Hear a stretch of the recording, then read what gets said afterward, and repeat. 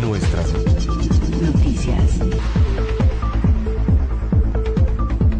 Más de 10 millones de pesos tendría que pagar el ayuntamiento de Centla producto de los laudos que en su momento antiguos municipios dejaron como una pesada herencia y sobre todo como una lápida pesada para las finanzas públicas de este municipio, las cuales en su momento se tendrán que finiquitar en próximos días, comentó el presidente municipal Ramón Hernández Sánchez, quien dijo será el esfuerzo para evitar que haya más de este tipo de herencias que lesionen el horario público en próximas administraciones y además se tendría que negociar algún para que así el recurso que se tiene para obras no se pueda debilitar aún más de lo que ya quedaría. Mira, ahí tenemos ya unos laudos que ya no tenemos por dónde hacernos.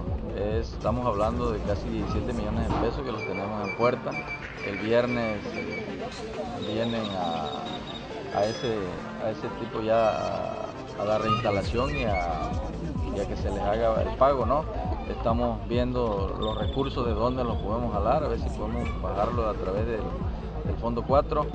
Eh, ya son requerimientos de ley que no podemos eludir, que la anterior administración hizo, pues, hizo caso omiso a un mandato de ley y se les hizo fácil este, trasladarnos para nosotros ese, ese paquete. ¿no?